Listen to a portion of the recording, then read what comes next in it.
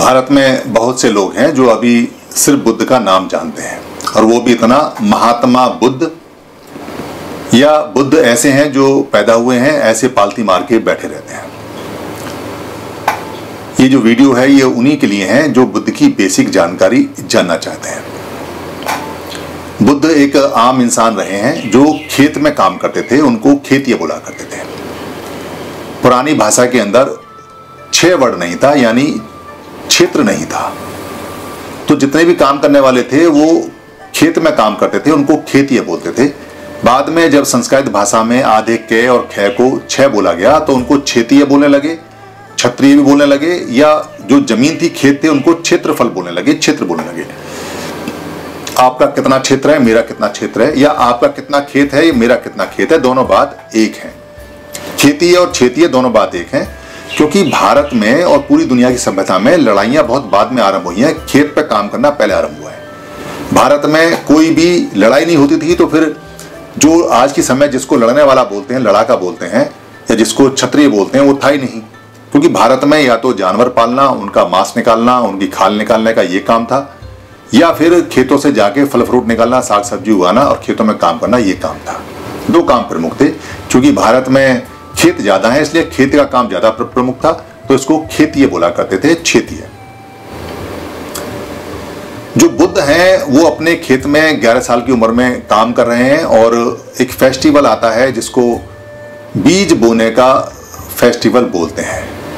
जो बीज बोने का फेस्टिवल है, ये बहुत फ़ेमस फेस्टिवल रहा है और उस समय सारे खेत में हल चलते हैं और धान बोया जाता है तो 11 साल की उम्र में जामुन के पेड़ के नीचे बुद्ध ने, यानी सिद्धत्त गौतम ने सिद्धत्त गौतम ने पहली बार विपसना साधना की। उसके बाद फिर वो अपने काम में रम गए, क्योंकि उनके पिता जो शुद्धोधन थे, शुद्धोधन के पास में बहुत ज़्यादा खेत थे, सबसे ज़्यादा खेत थे। तो वो अपने काम में लगे रहे, धान आता था, इसलिए धान ही बाद में धन बना।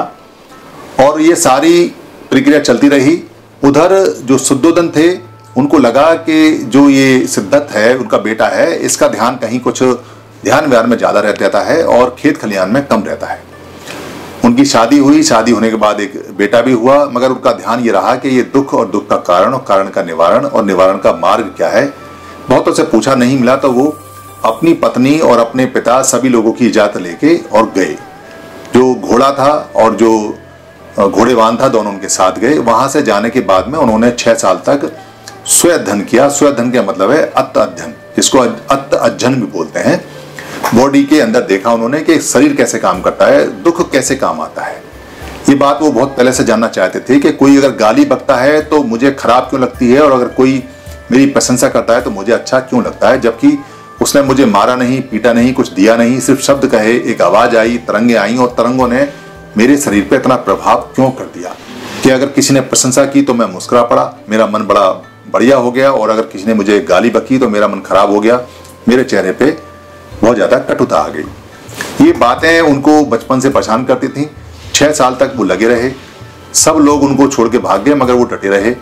दृढ़ प्रतिज्ञा की और उनको वैशाख पूर्णिमा को इस बात का अध्ययन हुआ कि शरीर कैसे काम करता है, मन कैसे काम करता है, मस्तिष्क कैसे काम करता है। ये ध्यान दें कि मन और मस्तिष्क अलग अलग होते हैं। मन को माइंड बोलते हैं, मस्तिष्क को ब्रेन बोलते हैं। तो उन्होंने सारी खोज जो की वो मन पे की कि मन कैसे काम करता है, क्योंकि जब भी हमारे मन में कोई काम करने के लिए आता है तो सबसे पहले विचार जो आता है मन में आता है तो मन में विचार आया कैसे कैसे बना, इसकी खोज की उन्होंने, उसका पूरा सिद्धांत उन्होंने जाना। फिर उन्होंने लोगों को बताना शुरू किया और जगह जगह इसका अभ्यास कराना शुरू किया। लोगों ने को बहुत अच्छा लगा, लोगों के दुख दूर होते चले गए और 45 साल की उम्र तक वो ये काम करते रहे। अपने घर भी वापस गए, वहाँ जाके उन्होंने अपने पिता को, अपनी पत्नी को सबको ये सिखाया। क्योंकि बुद्ध होने के बाद में ना कोई पिता रहता है, ना पत्नी रहता है, मगर एक उपासक उपासिका की तरह भिक्खु संघ के साथ में वो सारी चीज़ें उन्होंने वहाँ सिखाई। उन्होंने कभी आत्मा या परमात्मा या ईश्वर का नाम नहीं लिया, ना ज़िक्र किया, ना ही उनकी पूरी फिलोसफी में ये शब्द कहीं आते हैं, ना ही इन शब्दों का ज़िक्र है, ना ही इन शब्दों का उपयोग है। सभी बातों के उन्होंने जवाब दिए। उन सभी बातों को जो उस समय गड़क होते थे और भाड़क होते थे, जो याद करते थे, वो याद कर करके आगे बढ़ाते रहे, चलते रहे। बुद्ध एक्सपायर हुए। एक्सपायर होने के बाद उन्होंने अपना जितना भी ज्ञान था, वो समय लोगों को बताया हुआ था। वही ज्ञान आगे बढ़ता रहा। बाद में जाके श्रीलंका में वो सारा ज्ञान लिखा गया, लिख के वो ग्रंथ बना, उसका ग्रंथ बना और पूरी दुनिया के अंदर वो फैला। सम्राट अशोक के समय सारा का सारा जितना भी ज्ञान था, वो चरम पे था और पूरा भारत ईरान तक, सारा ईरान और थाईलैंड तक पूरा धम्मी धम्म चारों तरफ़ हुआ करता था। ये एक प्राकृतिक है। धम्म जो बोलते हैं, प्राकृतिक नियम को धम्म बोलते हैं। इसको धर्म भी कह सकते हैं। इसमें लड़ने झगड़ने की बात नहीं है। धम्म और धर्म एक ही होता है। धम्म पाली भाषा में बोलते हैं, पुरानी भाषा जो बुद्ध के समय की थी, बाद में जब उस भाषा को संस्कृत किया, संस्कारित किया गया तो उसमें आधा रह जोड़ दिया। जहाँ जहाँ दो शब्द आते थे, आधे और पूरे जैसे धम्म में आधा मैं और मैं आता है तो आधा मैं खत्म करके रह लगा दिया। ये पूरी भाषा को संस्कारित किया गया और आधे रह का इस्तेमाल ऊपर और नीचे किया गया। तो धर्म और धर्म एक ही बात है, दोनों में कोई अंतर नहीं है, दोनों ही प्राकृतिक हैं। बुद्ध की जो बातें थी, वो समानता पे आधारित थी। सभी मनुष्य के लिए उन्होंने अपनी बातें बताई, सबको सिखाई। जगह जगह उन्होंने जंगल साफ़ करे, जंगल साफ़ करके उनको विहार बोलते थे। उस जगह जहाँ उन्होंने काम किया, वहाँ इतने विहार बन गए कि उस जगह का नाम ही पूरा विहार पड़ गया। बाद में जो लोग ऐसे थे जो असमानता को पसंद करते थे और जो लूट खसोट और चोरी, चकारी व्यवचारी हत्या को पसंद करते थे, उन्होंने जितना भी काम अशोक ने किया और बुद्ध ने किया, उसको काटा, उसको दबाया, उसको मारा। ये बहुत पहले लगभग अब से करीब सत्रह सौ, अठारह साल पहले बताया जाता है जो हुआ है। और चूँकि बुद्ध ने जो काम किया, अशोक ने जो काम किया, वो पूरी दुनिया में फैल गया।